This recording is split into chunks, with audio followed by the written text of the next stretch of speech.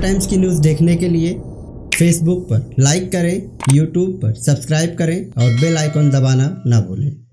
मैं इस्लामुद्दीन खान और आप देख रहे हैं प्रहार टाइम्स मुंबई में बेखौफ बदमाशों ने तलवार से हमला करके करीब सात लोगों को घायल कर दिया है। ऐसा लगता है कि मुंबई शहर में बदमाशों का खौफ अब बढ़ता ही जा रहा है। बीती रात बांद्रा इलाके में उस वक्त हड़कंप मच गया जब आठ से दस की तादाद में बदमाशों ने बांद्रा के जे जे कॉलोनी में रहने वाले कई लोगों पर हमला बोल दिया। पीड़ित और उनके परिजनों को ये समझ में ही नहीं आया कि आखिर उन पर हमला क्यों किया गया। बहरहाल, घायलों को इलाज के लिए अस्पताल में भर्ती किया गया है और पुलिस ने इस पूरे मामले में एक व्यक्ति को हिरासत में भी लिया है और आईपीसी की धारा 307 और अन्य धाराओं के अंतर्गत मामला दर्ज कर इस पूरे मामले की जाँच पड़ताल शुरू कर दी गई। मेरा नाम अब्दुल अज़ीज़ है।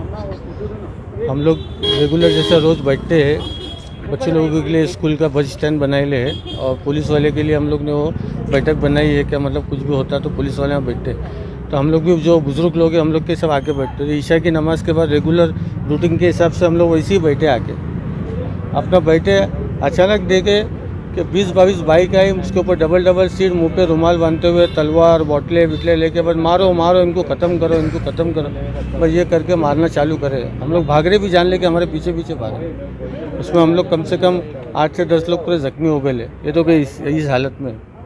किस वजह से हमला हुआ वगैरह? कौन थे उन लोग? कुछ? कुछ भी नहीं मालूम। हम लोग अपना नमाज़ पढ़ के रेगुलर जैसा रूटीन पर बैठते हैं वैसा बैठे ऐसा ग्रुप बंदी के हिसाब से आई तो पूरा।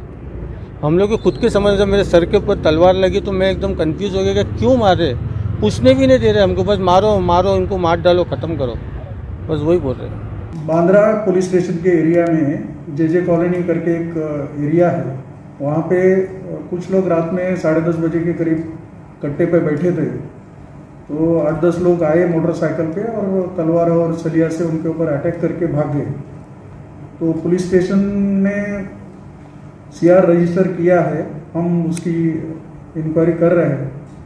और दो घंटे के अंदर हमने एक आरोपी को ताबे में लिया है और इन्वेस्टिगेशन जारी है। सर पूछताछ में कुछ पता चला है क्या? विक्टिम की तरफ़ से या जो एक्यूज को डिटेन किया उनकी तरफ़ से कुछ पता चला है क्या? अभी तक?